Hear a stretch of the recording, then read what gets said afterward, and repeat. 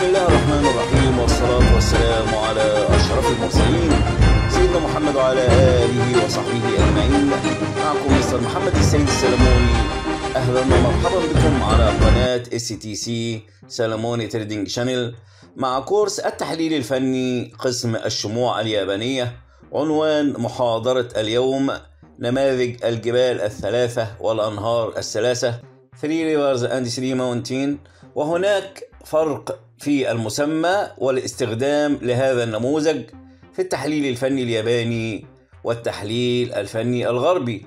في التحليل الفني الياباني يسمى نماذج الجبال الثلاثة بينما في التحليل الغربي يسمى نموذج القمة الثلاثية وهناك مسميات أخرى في التحليل الغربي لا توجد في التحليل الياباني مثل نماذج المثلثات والأعلام والرأس والكتفين وإلى غير ذلك. أما الفرق الجوهري بينهما من حيث الاستخدام في التداول وتفعيل النموذج. في التحليل الياباني يأتي النموذج بعد اتجاه صاعد يتشكل بعده ثلاث قمم تقع على مستوى أفقي واحد. أي قمم هذه الجبال تكون في نفس المستوى يطلق عليها اسم الجبال الثلاثة.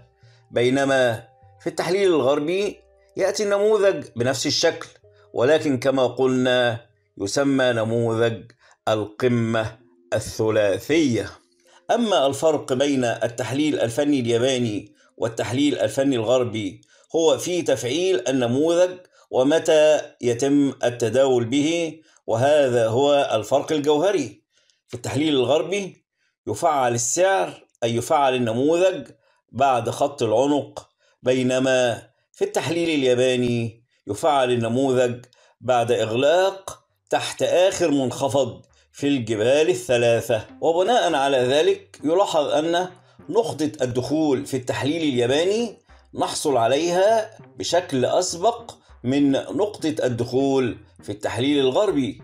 أي أن إشارة الدخول باستخدام نموذج الشموع اليابانية نحصل عليها بشكل مبكر عن التحليل الغربي. وذلك لأن مدرسة التحليل باستخدام الشموع اليابانية هي أقدم بكثير من مدرسة التحليل الغربي ونتائجها تكون أكثر فاعلية من مدرسة التحليل الغربي إذا استخدمت بشكل صحيح أي أن هذا هو ما يسمى بنموذج الجبال الثلاثة. يكون بعد اتجاه صاعد يتشكل من ثلاث قمم عند نفس المستوى. يتم تفعيل النموذج عندما يحدث الإغلاق تحت آخر منخفض وليس شرطا خط العنق. ولكن إذا أغلق تحت آخر منخفض يفعل النموذج حسب تحليل الشموع اليابانية. في حالة أخرى للجبال الثلاث أو القمة الثلاثية. وفقا للتحليل الغربي إنها تكون أي الجبال ليست في نفس المستوى الأفقي. بمعنى آخر أنها تكون قمم متصاعدة. أو بمعنى أصح قمم جبال متصاعدة. فيبقى أيضا نموذج صحيح. هنا في هذا المثال هنشوف قوة الشموع اليابانية بالمقارنة بالتحليل الغربي المعروف. في هذه الحالة لو تلاحظ أنا عندي أكتر من قمة جبل قمة اتنين تلاتة أربعة خمسة. طيب إزاي أنا أحدد مكان الجبال الثلاثة بطريقة صحيحة؟ عشان نفهم الموضوع ده يلا بينا نمشي مع السعر خطوة خطوة.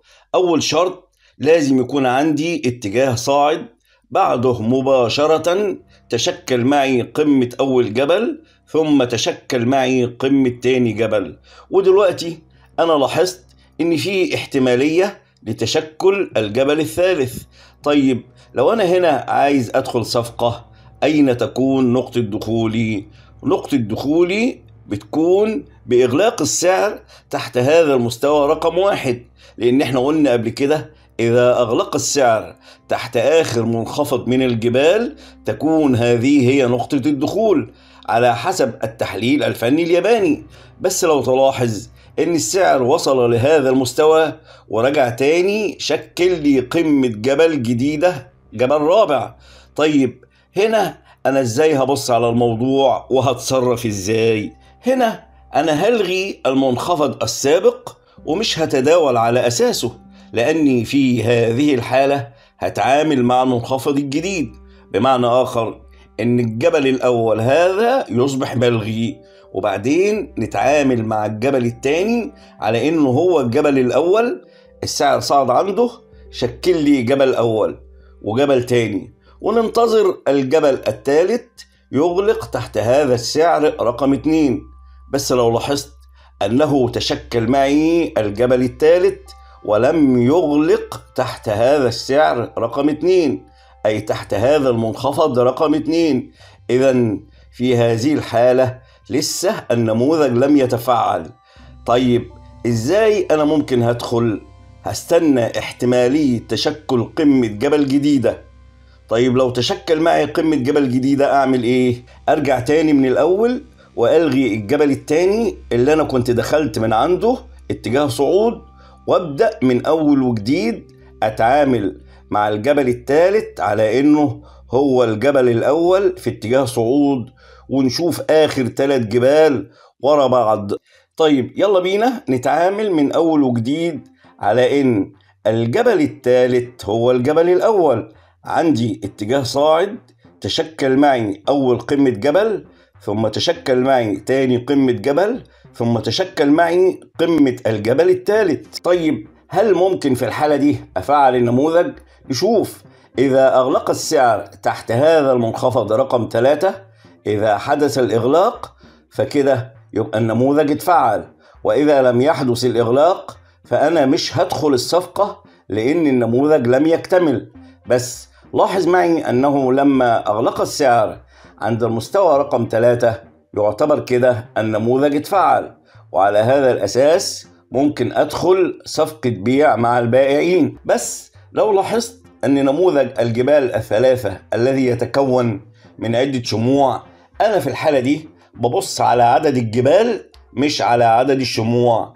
وهذا هو الفرق بين تشكل الجبال الثلاثة في مستوى أفقي أو إنهم يتشكلوا بشكل تصاعدي. أهم حاجة بالنسبة لي كمتداول إن أنا أركز على إغلاق السعر تحت المنخفض الأخير للجبل الثالث. بس لو حبيت أقارن بين التحليل الغربي والتحليل الياباني في التحليل الغربي صعب جدا إن إحنا نحكم على خط العنق أو نحكم على الاتجاه اللي هينعكس أولا. لكن في التحليل الياباني ووفقا لسيكولوجية الشموع اليابانية النظرة بتكون أوضح لما نفهم النماذج مرة أخرى نموذج الجبال الثلاثة يأتي على شكلين إما بشكل أفقي بحيث تكون القمم واقعة على مستوى أفقي واحد أو قد يأتي على شكل تصاعدي مائل بحيث تكون القمم تصاعدية وراء بعض. طيب هل هذا النموذج ممكن أعتبره نموذج رأس وكتفين. الإجابة بالقطع لا. لا يمكن اعتبار هذا النموذج نموذج رأس وكتفين. لماذا؟ لأن القمة الموجودة في المنتصف منخفضة فهذا يعتبر نموذج الجبال الثلاثة التصاعدية وليس نموذج الرأس والكتفين. النموذج الثاني الذي سوف نتكلم عنه اليوم هو نموذج الأنهار الثلاثة ثري ماونتين أو ما يعرف بالقاع الثلاثي في التحليل الغربي. يكون على هذا الشكل الموضح أمامك على الشرط. شروط تكونه هو رقم واحد أن يكون السعر في اتجاه هابط لأنها أنهار عبارة عن قيعان. ثم يبدأ يتشكل معي هذا القاع الأول وهذا القاع الثاني وهذا القاع الثالث. ولو تلاحظ إن أنا عندي هنا قاع رابع أيضا ولكن هنعرف إزاي حالا نفلتر هذه الأنهار بالشكل الصحيح. رقم اتنين الأنهار الثلاثة أو الجبال الثلاثة تتشكل من مجموعة من الشموع وليس من شمعتين أو ثلاث.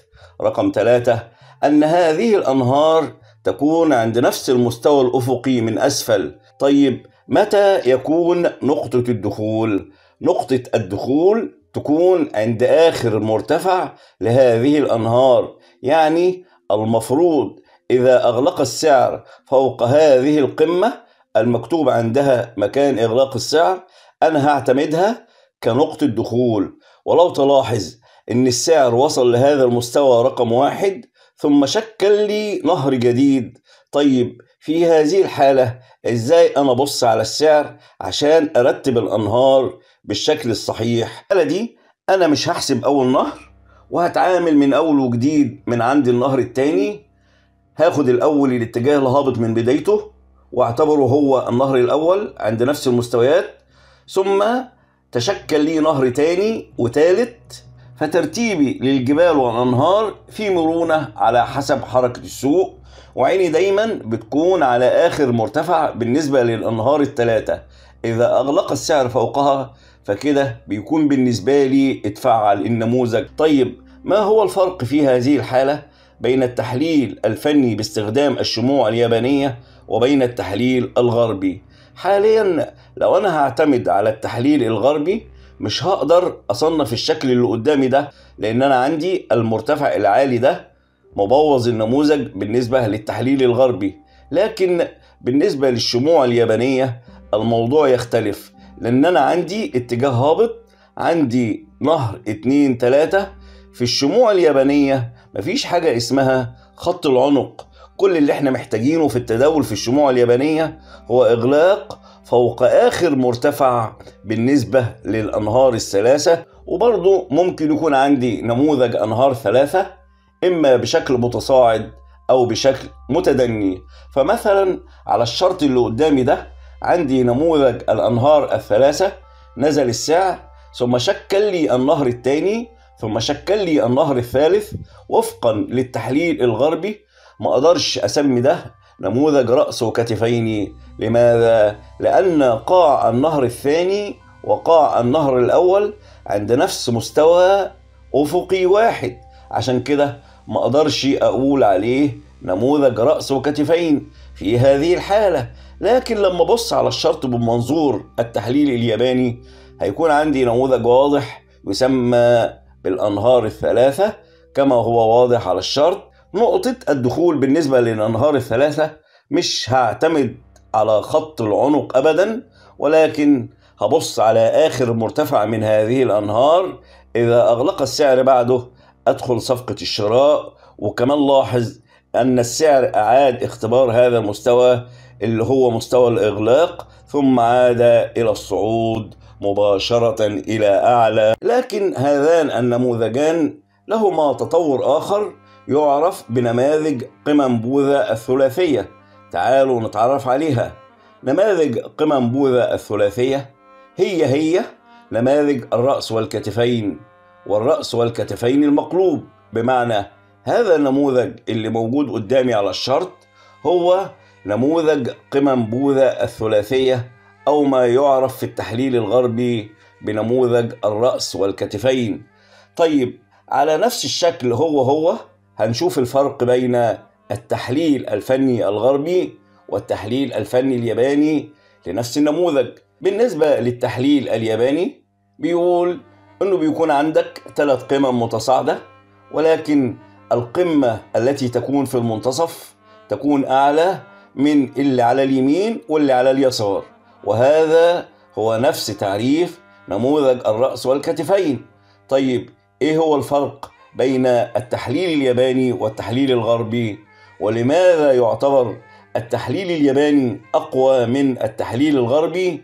في العديد من النماذج هنعرف الفرق من خلال التداول على المثال اللي قدامي ده على الشرط. وفقا للتحليل الغربي إذا جينا نرسم نموذج رأس وكتفين إزاي هنرسمه؟ والشكل هيكون إزاي؟ أكيد راح أرسم خط العنق. وإذا رسمت خط العنق في هذا الشكل فتقريبا الشكل هيكون مشوه. لماذا؟ لأنه تقريبا أنا عندي أول كتف وعندي الرأس ولكن الكتف الثاني تقريبا مش موجود نهائيا. ده يعتبر نموذج غير صحيح. هذا بالنسبة للتحليل الغربي.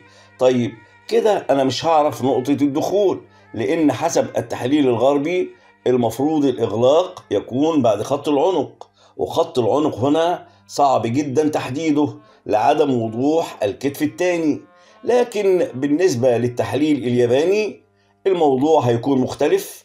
أول حاجة التسمية هيصبح اسمه في التحليل الياباني قمم بوذا الثلاثية وليس الرأس والكتفين. على هذا الأساس أنا هبص على القمة الأولى والقمة الثانية هتكون أعلى منها والقمة الثالثة في نفس مستوى أقل من القمة الثانية يعني قمة المنتصف هي الأعلى عشان كده بيسمى بقمم بوذا الثلاثية. طيب على حسب نموذج قمم بوذا الثلاثية أين تكون نقطة الدخول؟ أو أين يكون مكان تفعيل هذا النموذج وعلى أي أساس أنا هتداول. ولاحظ أن التحليل الغربي يعتمد على خط العنق بالدرجة الأولى لكن الشموع اليابانية تعتمد على مستويات الظلال والزيول باعتبارها دعوم ومقاومات وتعطي في هذه الحالة نتائج أحسن بكتير. وهذه الأمثلة اللي بنشوفها كلها أمثلة حية حقيقية موجودة في السوق يعني نقطة الدخول عندي بالبيع بتكون عند هذا المستوى. اللي مكتوب عنده كلمة ادخل بيع. طيب أنه الأفضل أتداول على أساس نموذج الرأس والكتفين أم على أساس قمم بوذا الثلاثية؟ والله لو قدرت تدمج بينهما فده بيكون أفضل. عندي كمان مثال آخر على الشرط على قمم بوذا الثلاث المقلوبة. في التسمية اليابانية أو نموذج الرأس والكتفين المقلوب حسب التحليل الغربي. كما هو واضح في هذا المثال على الشرط يتكون بعد اتجاه هابط واضح ثم يكون عندي ثلاث قيعان ورا بعض والقاع الذي في المنتصف يكون منخفض بالنسبة للقاع الذي على يمينه والقاع الذي على يساره. لو حبينا نحلل على أساس التحليل الياباني والتحليل الغربي في أوقات معينة ممكن يتصادف بالنسبة للاتنين نفس نقطة الدخول. مثلا عندي في هذه المنطقة خط العنق في التحليل الغربي بيقول لي إن أي إغلاق بعده في إمكانك إنك تشتري في حالة الرأس والكتفين المقلوب. طيب لو بصينا على نفس الشرط من منظور التحليل الفني الياباني باستخدام الشموع اليابانية فإن برضو أي إغلاق فوق آخر مرتفع هيكون بالنسبة لي نقطة دخول. ولو تلاحظ في هذا المثال على نفس الشرط نقطة الدخول في الحالتين قريبين جدا من بعض. لاحظ أنه في الصفقة السابقة لجأنا للتحليل باستخدام الشموع اليابانية فقط.